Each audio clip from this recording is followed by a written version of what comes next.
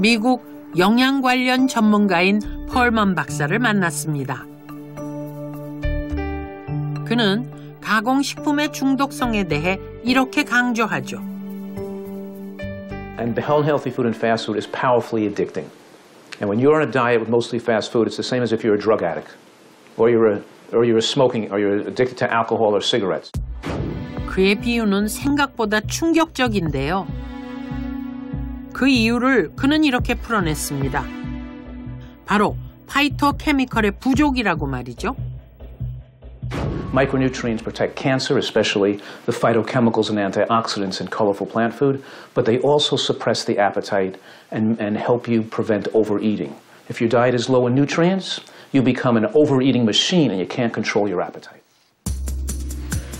그가 개발한 영양 농도 지수에 의하면 점수가 낮을수록 파이토케미컬이 부족하고 점수가 낮을수록 또 과식을 유발한다는군요. 그 대표적인 것이 바로 탄산음료와 흰 빵인데요. 각각 1점인 탄산음료와 9점인 흰 빵에 비해 당근은 458점, 케일은 무려 1000점입니다. 한눈에 봐도 엄청난 차이입니다.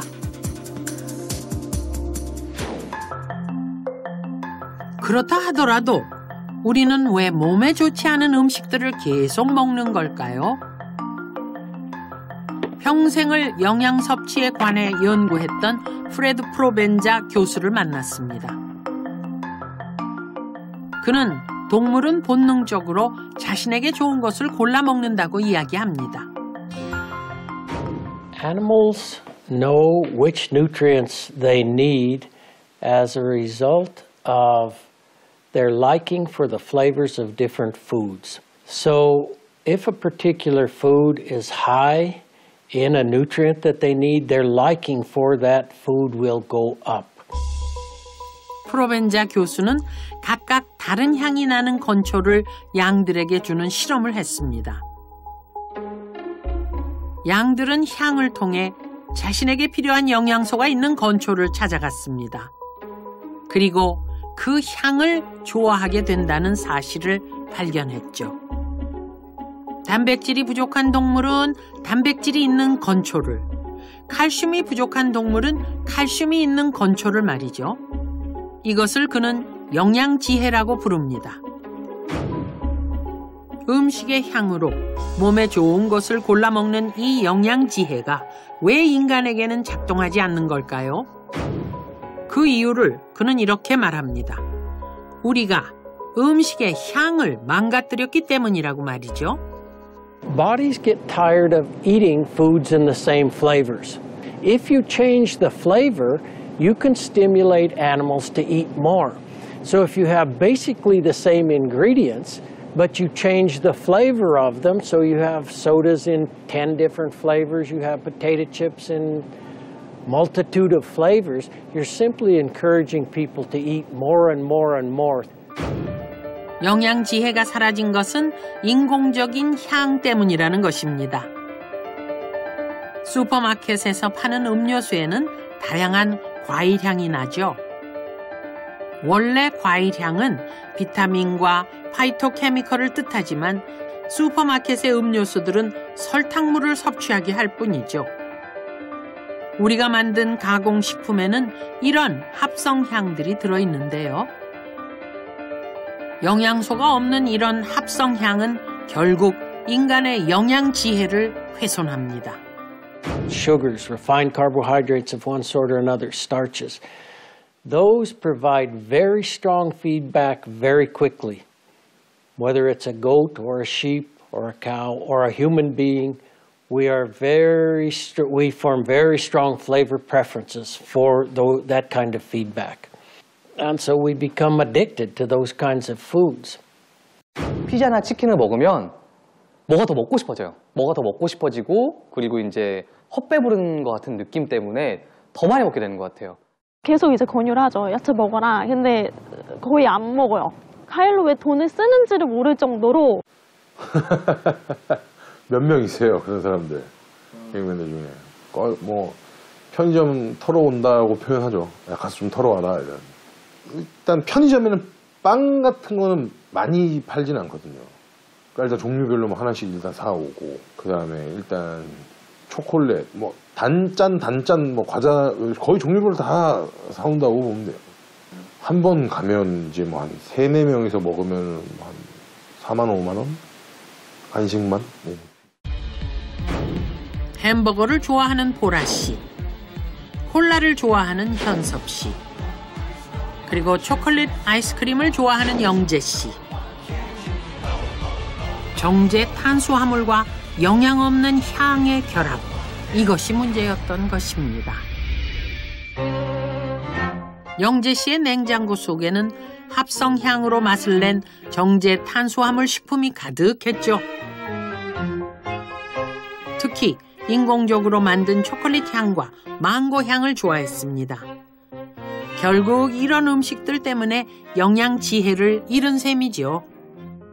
There's nothing wrong with liking those flavors, but there's something very wrong with giving those flavors to your body and uncoupling them from what's good for you.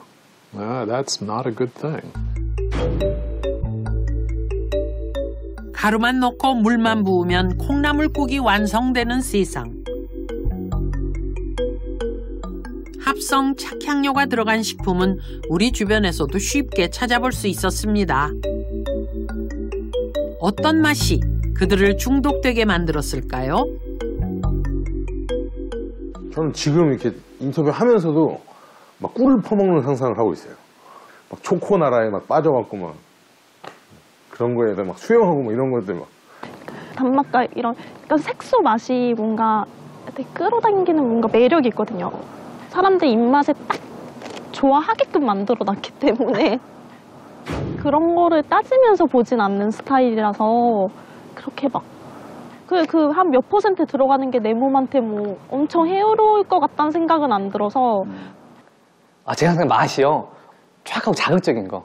네, 자극적이고 정말 좀 달고 굉장히 먹었을 때 확 이렇게 뭔가 뇌까지 만족시켜주는 그런 거라고 생각을 합니다.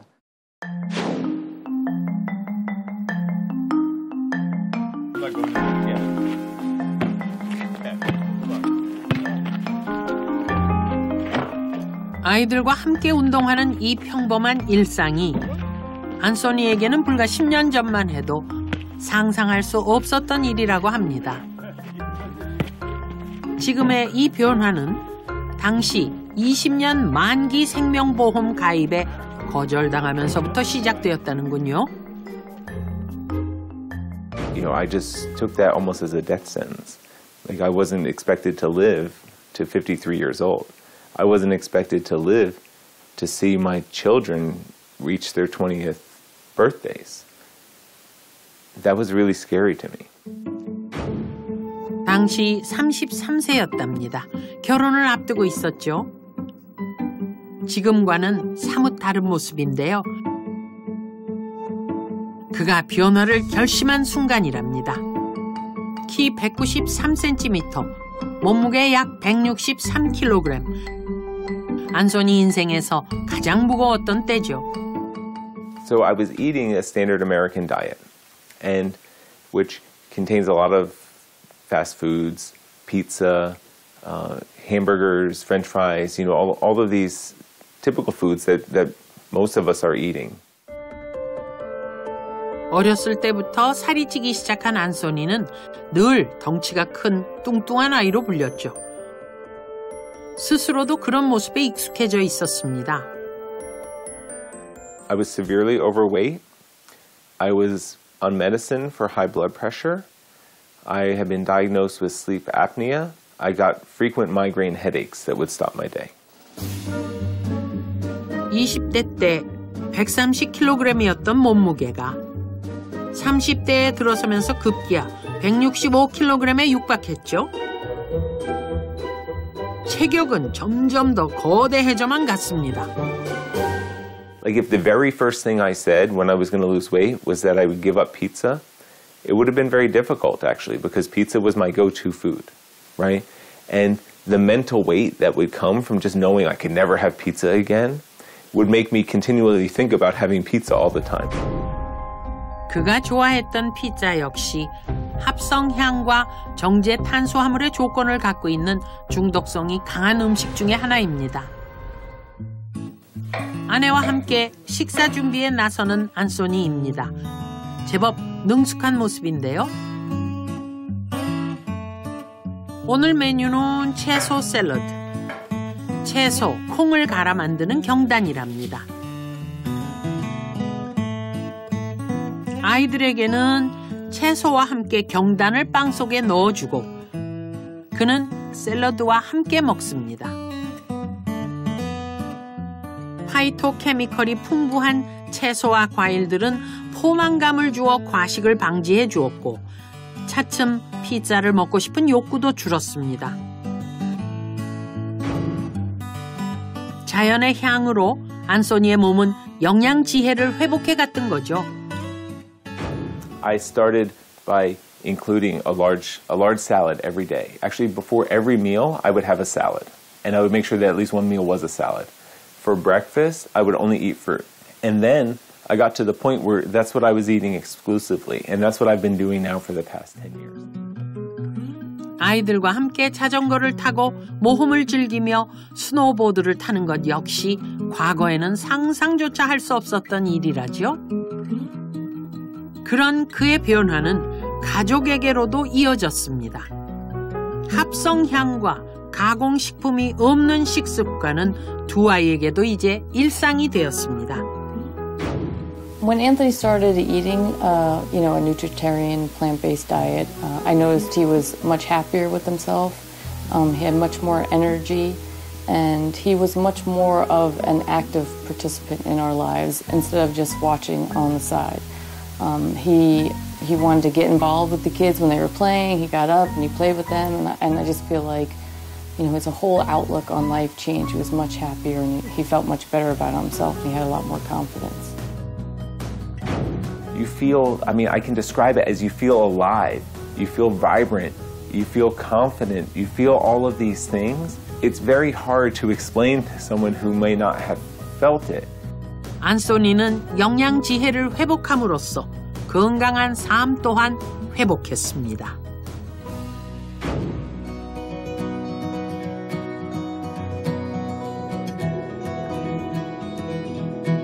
제나 노우드는 다섯 살 때부터 고기를 먹지 않았습니다. 그러나 항상 고기는 선택 사항이 아닌 꼭 필요한 것이라는 이야기를 들었죠. 그 후 고등학교 때 영양학 수업 책에서 채식주의자라는 사람들이 존재한다는 문장을 보고 너무나도 기뻤답니다. 하지만 채식주의가 그녀의 건강을 지켜주지는 못했습니다. And so I was vegetarian from then on, but I ate a lot of processed food, a lot of bread, a lot of cheese, a lot of pasta, a lot of rice, a lot of cooked food.